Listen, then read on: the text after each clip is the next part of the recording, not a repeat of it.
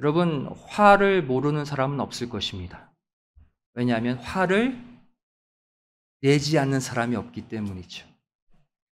화라는 것이 무엇입니까? 사전적 의미로 정의해 보면 언짢은 기분을 참지 못하고 격하게 드러내는 말이나 행동 이것을 화라고 규정하고 있죠. 이 화를 발산하지 못하고 계속 참게 되면 어떻게 됩니까? 그 화가 쌓이고 쌓여서 병이 되는데 그 병을 가리켜 우리는 무슨 병? 화병이라고 말을 하죠. 실제 화로 인한 병이 생겨나요. 그렇다고 화병에 걸리지 않기 위해서 화를 적극적으로 풀어버리면 감정적으로 거침없이 쏟아내게 되면 또 어떻게 됩니까? 나는 편한데 그 화를 받는 사람은 상처를 받게 되죠. 그러니까 화를 무조건 참지도 못하고 또 무조건 화를 쏟아내지도 못하고 이러지도 저러지도 못하는 상황이 우리에게 늘 있습니다. 어떻게 해야 되는가? 화가 터져 나올 때 이것을 잘 조절하는 것이 중요하다는 것이죠. 화를 내되 조절할 수 있는 은혜가 있어야 된다. 여러분, 증기 아시죠? 스팀. 이 물이 끓어서 증기가 되는 이 스팀을 조절하지 않고 그냥 내버려 두게 되면 어떻게 됩니까? 요란한 소리만 나요. 그리고 내버려 두면 잘못하면 폭발이나 큰 사고를 당하게 됩니다. 또 잘못하면 화상을 입게 되죠. 스팀, 수증기라는 것을 조절하지 않으면 많은 문제를 일으켜요. 이걸 화로 한번 비유해 보자는 거예요. 우리의 화. 수증기, 증기가 안 나올 수는 없어요. 하지만 이 스팀, 수증기를 잘 조절하면 오히려 큰 에너지를 얻을 수가 있습니다. 그래서 이 요란한 증기, 이것을 잘 조절해서 긍정적인 힘을 얻어서 만든 게 바로 뭐예요? 증기 기관차예요.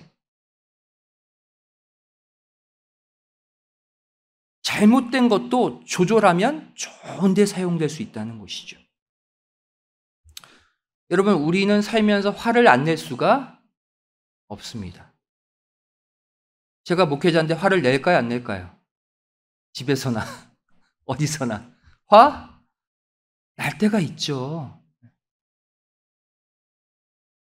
근데 화가 났을 때 화를 내가 안 낼 수는 없지만 화가 났을 때 이것을 조절할 수는 있어요. 우리가 오늘 화를 조절하는 지혜를 배우기를 원합니다.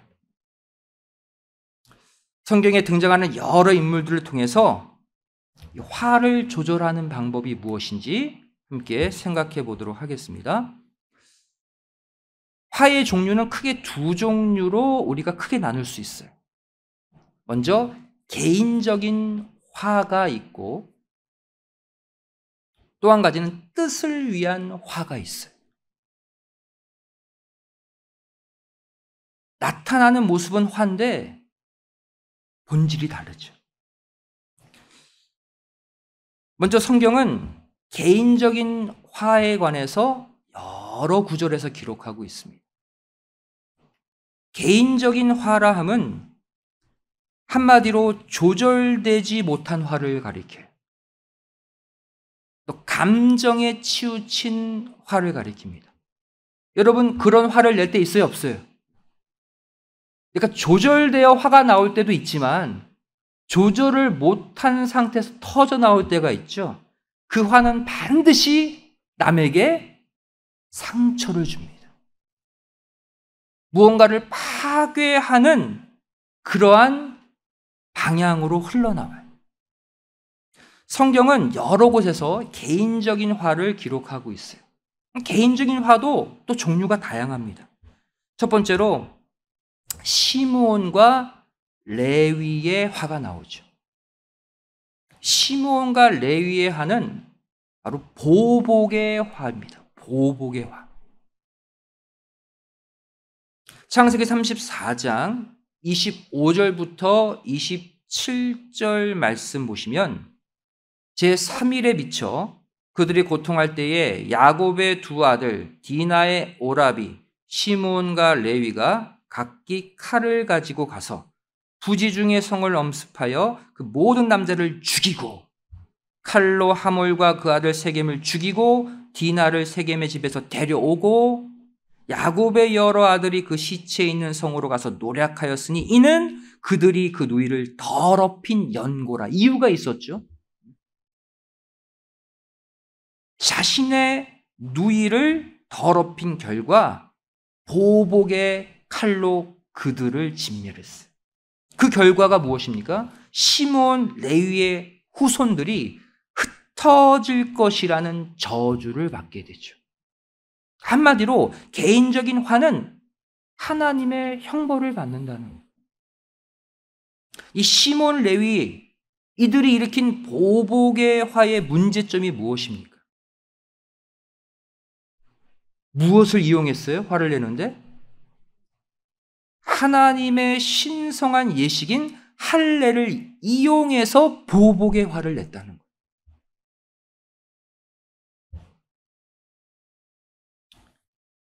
오늘날도 마찬가지입니다. 이 개인적인 화는 특별히 보복의 화는 순간 신앙의 양심까지 마비시켜서 하나님의 일까지 악용하게 만들어요.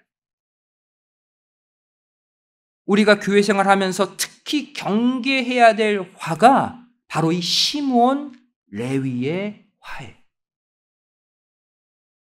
아무리 화가 난다고 해도 절대 우리는 교회 일을 내 화의 도구로 사용해서는 안 된다라는 교훈을 주고 있습니다. 두 번째 종류의 개인적 화죠. 이번에는 모세의 화입니다. 모세가 낸 화. 지극히 온유했던 모세도 화를 터뜨렸죠. 이 화는 교만의 화를 보여주고 있어요. 민수기 20장 10절, 11절 말씀 보시면 이스라엘 백성들이 막 물 달라고 막 어, 불평하고 그러니까 모세가 화가 치밀어 올르다가 터져 나왔죠. 근데 어떻게 화를 냈습니까? 모세와 아론이 총회를 그 반석 앞에 모으고 모세가 그들에게 이르되 폐역한 너희여 들으라 우리가 너희를 위하여 이 반석에서 물을 내랴 하고 그 손을 들어 그 지팡이로 반석을 두 번 침에 물이 많이 솟아 나오므로 회중과 그들의 짐승이 마시니라. 이들이 반석에서 물을 마시긴 마셨지만 이 물은 모세의 화를 통해 나온 물이었어요. 백성들의 원망 불평에 화가 난 모세는 어떻게 했습니까? 먼저 이렇게 말했죠. 우리가 너희를 위해 물을 내려. 물을 누가 낸대요? 하나님이 내시는 물을 나 모세와 아론이 내는 물로 둔갑시켜서 화를 냈죠. 바로 이 죄는 하나님의 영광을 가리운 죄입니다. 여러분, 개인적인 화가 왜 무섭냐면 하나님의 영광을 가린다. 하나님이 당연히 좋아하시지 않죠. 또 모세는 홧김에 반석을 두 번 쳤습니다. 무슨 죄예요? 말로 명에서 물을 내라는 그 말씀에 불순종한 죄죠. 여러분, 화는요. 개인적인 화는 불순종의 죄로 연결된다는 그 결과가 무엇이었습니까? 모세와 아론 모두 가나안에 들어가지 못하고 광야에서 비참하게 죽는 형벌을 받게 되었습니다. 여기서 우리는 중요한 교훈을 얻습니다. 개인적인 화가 계속되면 결국 교만의 죄까지 이르르게 된다는 연결되어 있어요. 그럼 감정적으로 개인적인 화를 주체하지 못하면 어느 순간 하나님이 주체가 아닌 내가 주체가 되는 교만에 이르게 되는 거예요. 무엇이 교만입니까? 내가 중심에서 판단하고 말하고 행동하는 게 교만 아닙니까? 화가 나는데 하나님이 느껴집니까? 개인적으로 막 화가 터져 나오는데 하나님의 그 뜻이 보입니까? 아니잖아요. 하나님이 사라지고 내가 주인이 돼. 개인적인 화는 교만으로 연결된다. 세 번째, 개인적인 화. 사울 왕의 화가 있죠. 사울 왕의 화는 한마디로 시기의 화, 시기로 인한 화를 의미해요. 시기 질투로 인한 화. 사무엘상 18장 7절부터 9절 말씀 보시면 여인들이 뛰놀며 창화하여 가로되 사울의 죽인 자는 천천히요. 다윗은 만만이로다 한지라. 다윗을 더 높였죠 사울보다? 사울이 이 말에 불쾌하여 심히 노하여 가로되 화냈어요. 노했다. 다윗에게는 만만을 돌리고 내게는 천천만 돌리니 그의 더 얻을 것이 나라밖에 무엇이냐 하고 그날 후로 사울이 다윗을 주목하였더라. 다윗이 죄진 게 없어요. 바로 사울 왕의 신하 다윗에 대한 시기로 인한 화입니다.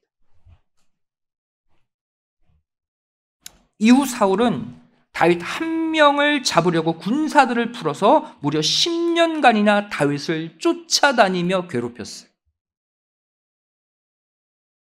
자신보다 인기가 많은 다윗을 시기하면서 생겨난 화, 분노예요.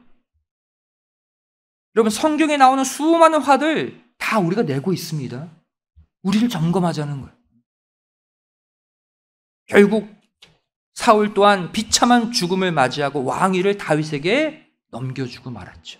개인적인 화해의 결과는 다 좋지 않아요. 그래서 우리는 무슨 교훈을 얻습니까? 시기 질투도 내버려 두면 무엇으로 바뀐다? 화로 바뀐다는. 계속 시기심이 생기는데 그게 그 상태로 머무는 게 아니라 이제 화가 나는 거예요. 어, 쟤가 그렇게 잘났어? 저 사람이 그렇게 잘났어? 내가 못한 게 뭔데? 그게 화로 바뀌는 거예요. 화로 바뀌기 전에 조절할 수 있어야 된다. 네 번째, 개인적인 화. 또 어떤 종류의 화가 있습니까? 이스라엘 백성들의 화가 있어요. 신약 시대 이스라엘 백성들의 화, 무지와 고집에 의한 화입니다. 무지하고 고집스러운 마음이 계속되면 화로 바뀌어요. 요한복음 8장 58절부터 59절에 나오죠. 감히 예수님에게 이런 화를 냈어요. 예수님에게. 예수께서 가라사대 진실로 진실로 너에게 이르노니 아브라함이 나기 전부터 내가 있느니라 하시니 예수님은 진리를 말씀하셨어요. 59절에 저희가 돌을 들어 치려 하거늘 예수께서 숨어 성전에서 나가시니라. 화를 낸 거죠. 폭력적으로 바뀐 거예요. 메시아에 대한 예수님에 대한 무지, 자기의 그 완악한 고집 때문에 초대교회 시대 스테반 집사의 복음을 들은 후에도 이스라엘 백성들은 똑같은 고집의 화를 냈어요. 사도행전 7장 54절 말씀 보시면 저희가 이 말을 듣고 마음에 찔려 그랬죠. 스테반이 정말 성령 충만함으로 말씀을 증거했거든요. 다 맞는 말이거든요. 찔리면 어떻게 돼요? 저 말이 맞는데 찔리면 회개하면 되잖아요. 찔렸는데 저를 향하여 이를 갈거느리 화가 냈어요. 그래서 어떻게 했습니까? 스테반을 돌려쳐 죽였잖아요. 무지, 말씀에 대한 무지, 또 자신의 그 완악함, 고집, 그것이 계속되면 화로 바뀝니다. 그 결과 구원의 기회가 유대인에게서 이방인에게로 넘어가는 불운을 맞이하게 되죠. 개인적인 화는 다 이렇게 좋은 결과를 얻지 못해요. 우리도 마찬가지입니다. 우리가 신앙생활 가운데 계속해서 말씀을 읽고 듣고 배워야 하는 이유가 여기 있어요. 왜? 말씀은 지혜의 근본이거든. 모든 지혜의 직결체가 하나님의 말씀 성경이에요. 이 말씀을 읽고 듣고 배우지 않으면 자신의 무지, 자신의 그 고집으로 인해 하나님의 뜻을 거역하는 화를 낼 수밖에 없는.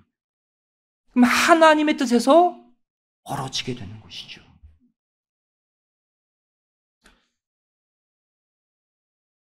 그러나 반대로 성경은 뜻을 위한 화도 기록하고 있어요.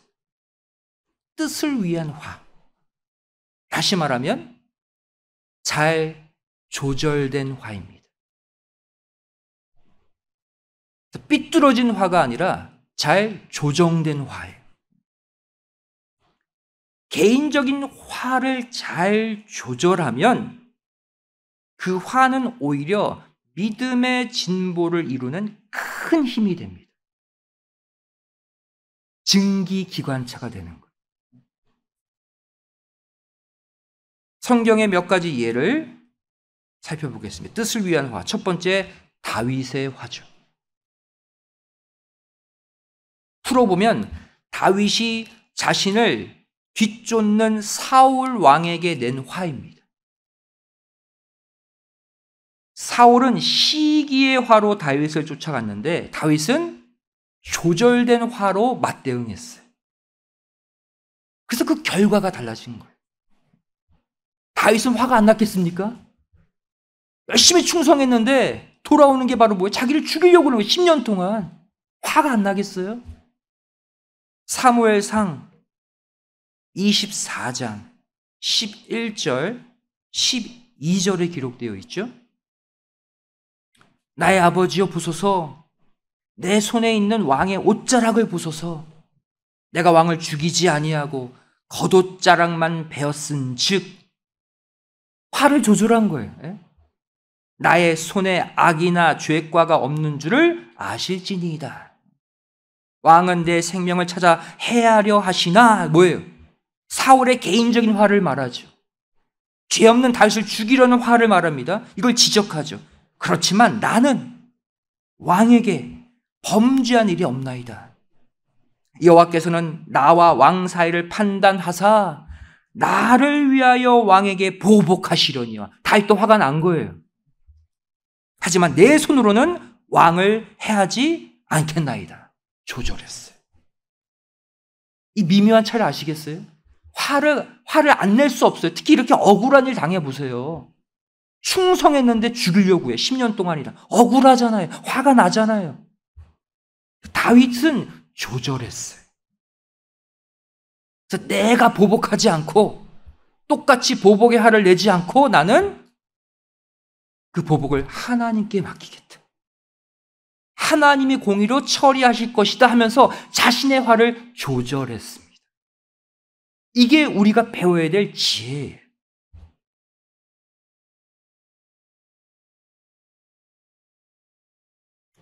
다윗은 자신이 당한 억울함에도 불구하고 복수의 화를 잘 견디고 참고 조절한 결과 이스라엘을 밝히는 등불로 쓰임 받게 되었어요. 끝이 완전히 달라져요. 두 번째 뜻을 위한 화, 조절된 화의 두 번째 예, 바로 사도 바울의 화죠. 사도 바울이 낸 화. 사도행전 23장 3절, 4절 말씀 보시면 바울이 가로되 회칠한 담이여 하나님이 너를 치리로다 화난 거예요. 그렇죠? 내가 나를 율법대로 판단한다고 앉아서 율법을 어기고 나를 치라 하느냐 하니 곁에 선 사람들이 말하되 하나님의 대제사장을 내가 욕하느냐? 그들도 알았어요. 바울이 화났다. 바울이 화를 냈어요. 바울이 난 화는 개인적인 화가 아니었다는 사실이. 무엇에 대한 화였습니까? 예수 복음을 가로막는 것에 대화가 난 거예요. 이런 바울의 화는 개인적, 감정적 화가 아니라 뜻을 위한 화였어요. 복음을 위한 분노였다는 것이죠. 여러분, 때로는 우리는 이러한 분노를 가질 필요가 있어요. 하나님의 귀한 말씀이 핍박받는다? 예수 복음이 사람들에 의해 무시당한다? 거기에는 화를 낼 수 있어야 돼. 뜻을 위한 화입니다. 세 번째 뜻을 위한 화의 예주. 바로 창조주 예수님이 내신 화예요. 창조주 하나님이 내신 화가 불이하지 않죠. 100% 뜻을 위한 화입니다.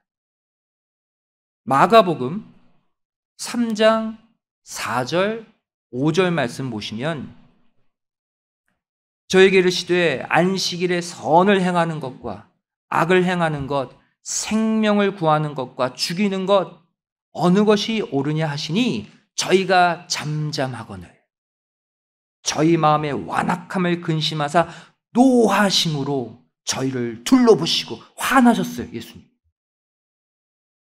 절대 개인적 화가 아니죠. 지금 어떤 상황이에요? 예수님으로 하여금 안식일에 병을 고치도록 유도해서 이것을 가지고 고소하려는 그 완악한 유대인들을 향해서 화를 낸 거예요.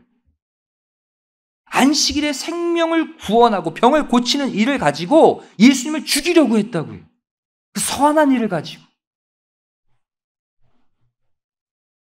뜻을 위한 화였어요.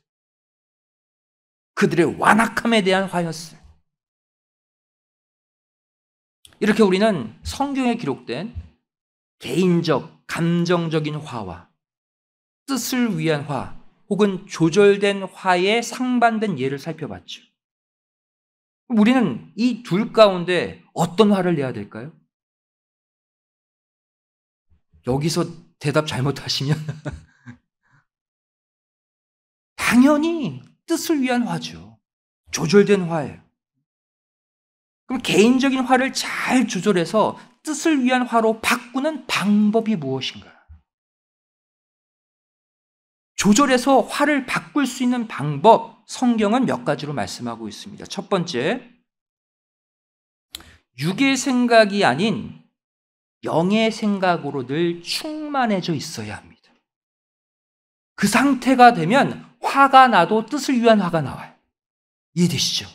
무엇이 내 생각을 지배하고 있느냐, 그것이 중요해요.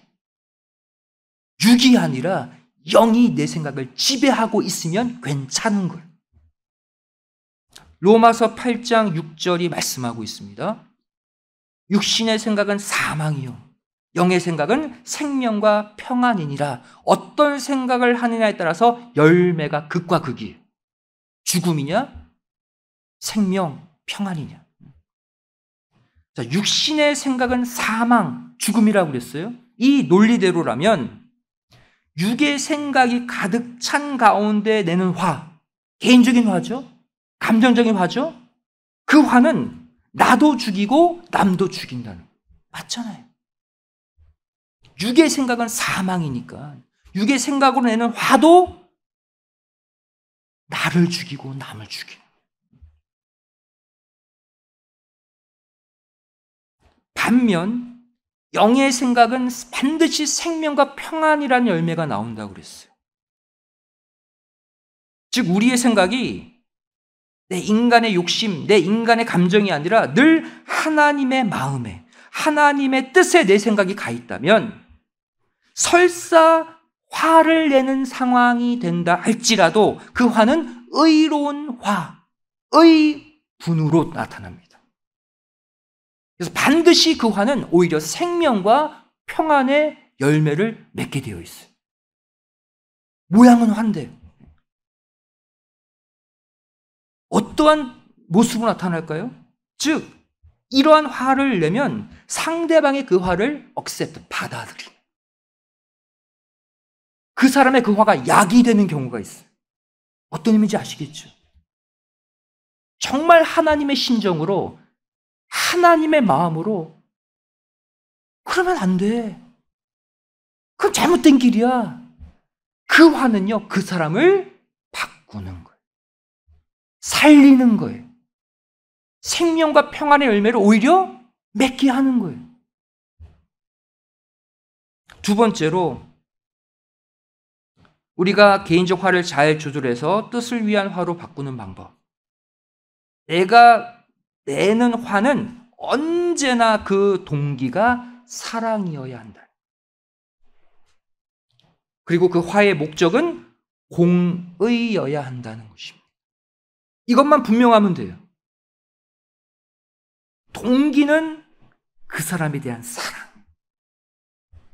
목적은 올바른 길로 나아가고자 하는 공의. 그것이 맞으면 그 화는 조절된 화가 되고 뜻을 위한 화, 살리는 화가 돼요. 이 동기와 목적을 잃어버리면 이것은 개인적인 화, 상처 주는 화, 죽이는 화가 되는 거예요. 대표적인 예가 예를 들자면 부모들의 자녀를 향한 사랑의 꾸짖음.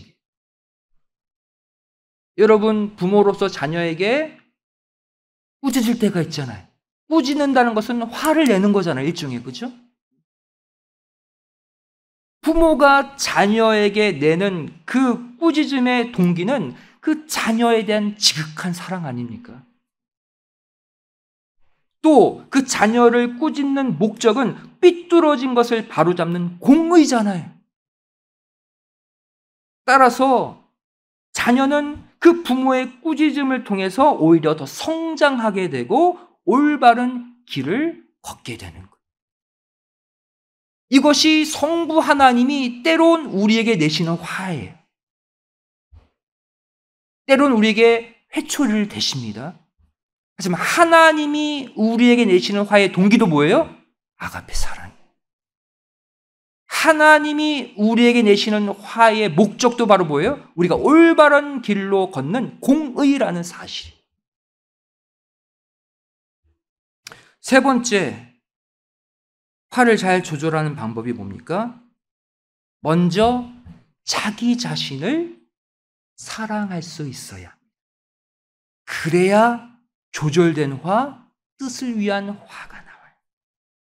누구를 먼저 사랑해야 된다? 내 자신. 여러분, 누가 주로 남에게 개인적인 화를 자주 내게 됩니까? 가만히 보면 자신을 사랑하지 않는 사람.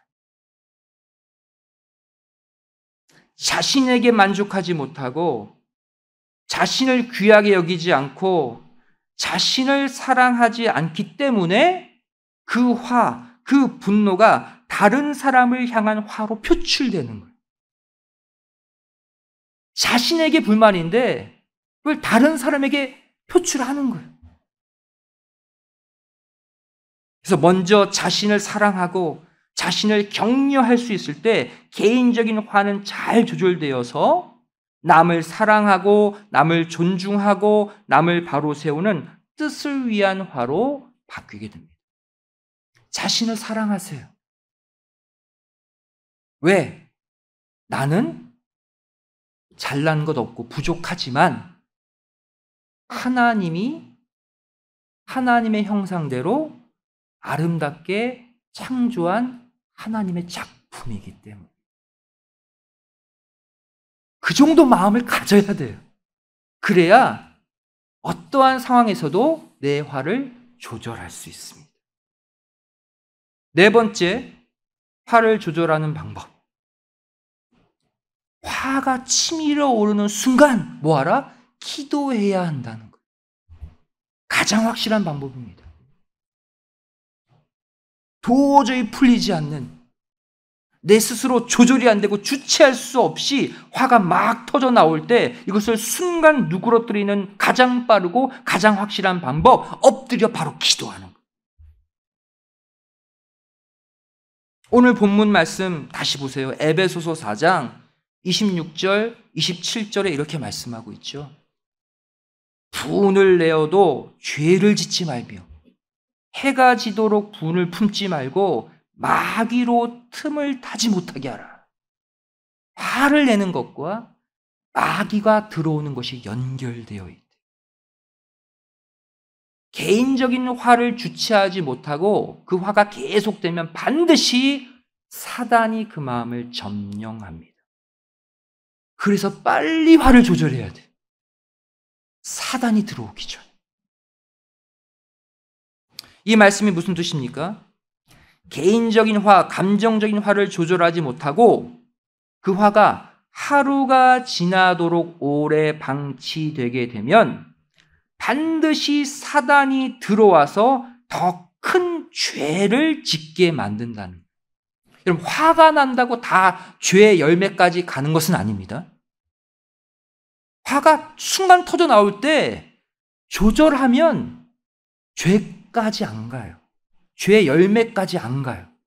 이것을 조절하지 않고 하루 이상 내버려 두면 반드시 다음날 사단 납니다. 그랬지, 그랬지. 이걸 잊지 못하고 조절하지 못하고 기도로 처리하지 못하고 다음날 가면 반드시 뭔가가 터진다고. 그것이 사단의 계략이에요. 순간 터져 나오는 화, 하루가 다 될 때까지 누그러지지 않는 화를 순간 잠재우는 방법이 무엇이냐? 화가 난 내 마음, 상한 내 마음을 하나님께 그대로 내어 놓는 기도밖에 없다는. 내가 내 마음 컨트롤 안 되잖아요. 그럼 누구에게 맡겨야 돼요? 하나님께 그 마음을 통째로 맡기세요. 그게 기도예요. 저 지금 도저히 못 찾겠습니다. 하나님, 저 좀 어떻게 해 주세요. 하나님이 해 주세요.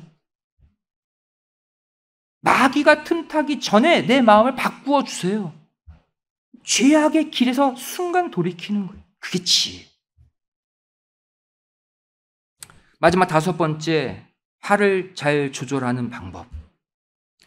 성령을 통해 절제의 은혜를 받아야 합니다. 결론은 뭐냐면 내 힘으로 조절이 안 된다는 거예요. 개인적인 화는 어떠한 성인 군자도 스스로 안 돼요. 성령을 통한 절제의 은혜를 받아야 잠잠해지는 거예요. 갈라디아서 5장 22절, 23절 말씀 보시면 성령의 수많은 열매들이 나오죠. 그 중에 마지막 열매가 뭡니까? 절제. 왜 마지막 열매로 절제를 기록했는지를 아세요. 오직 성령의 열매는 사랑과 사랑으로 출발하죠. 아가페 사랑. 희락과 화평과 오래 참음과 자비와 양선과 충성과 온유와 절제니 이 같은 것을 금지할 법이 없다 그랬어요. 성령의 첫 열매는 사랑, 성령의 마지막 열매는 절제입니다. 절제가 바로 뭐예요? 화를 조절하는 은혜예요. 누가 한다? 성령님이 하신다. 화가 순간 치밀어 오를 때 하나님께 엎드려 기도하시되 특별히 성령을 통해 나에게 절제 은혜를 달라고 구체적으로 기도하시라. 성령의 열매로 기록했으니까 말씀 딱 갈라디아서 5장 23절 딱 내놓고 기도하셔요. 성령의 열매 절제 은혜를 나에게 달라고. 성령이 내 마음을 지배하고 바꾸심. 사랑하는 성도 여러분, 화를 꼭 참고 안 내는 것만이 능사가 아닙니다. 어떠한 일에도 화를 내지 않는 사람은 오히려 의욕이 없고 발전도 없고 세상과 타협하는 자가 되기 쉬워요. 될 대로 되라.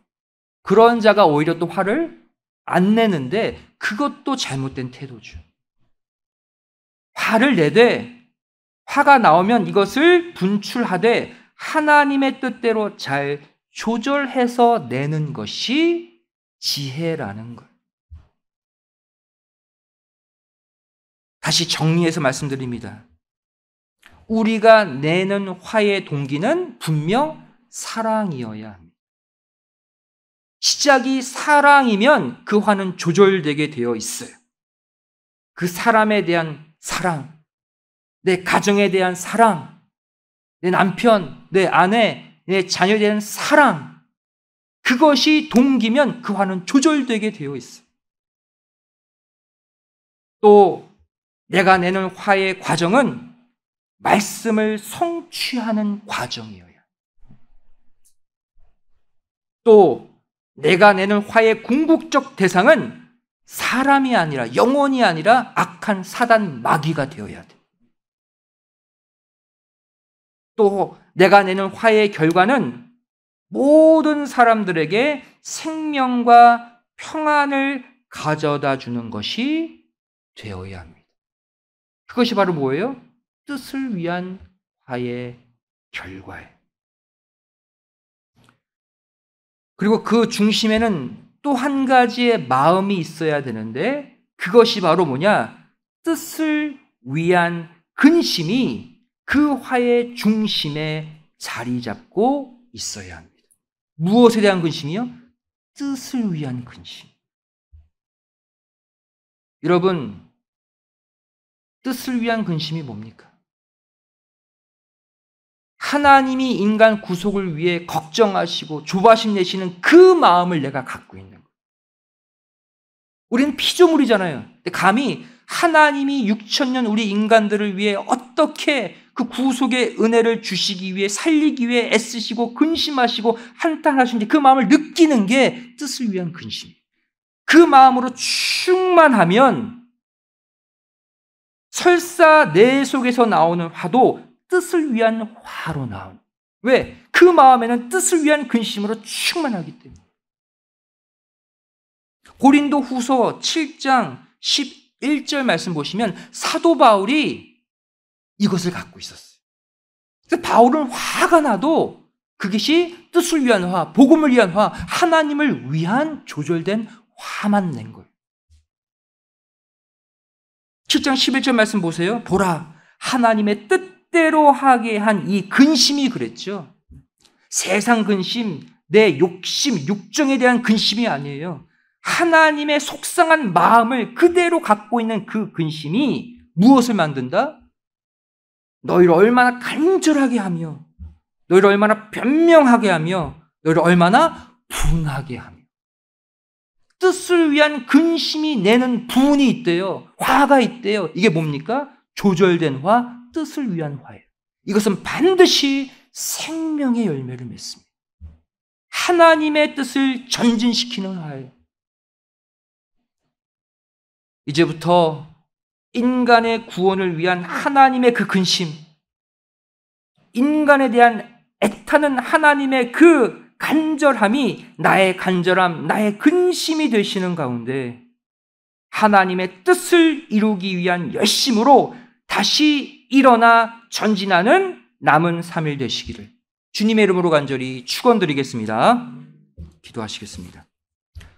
사랑을 하신 아버지 하나님, 저를 이 땅을 살면서 하나님이 원치 않는 내 감정에 치우친 화, 내 욕심을 채우기 위한 화, 얼마나 많이 내고 살았습니까? 이 시간 이 육의 생각으로 말미암은 화를 다 정리하게 하여 주시고 오직 하나님의 뜻을 위한 근심으로 영의 생각, 하나님의 생각, 말씀 생각, 교회 생각으로 우리의 화를 조절해서 반드시 뜻을 위한 의분으로 잃어버린 모든 것을 회복하는 우리의 남은 시간이 되게 하여 주시옵소서. 어떠한 화가 나는 환경에 처한다 할지라도 엎드려 기도하고 절대 내 화가 죄로 이어지지 않도록 사단의 밥이 되지 않도록 지켜내는 우리 모두의 삶이 되게 하여 주시옵소서 감사드리오며 사람 많으신 예수님의 이름으로 기도드리옵나이다. 아멘. 하나님 고하셨습니다.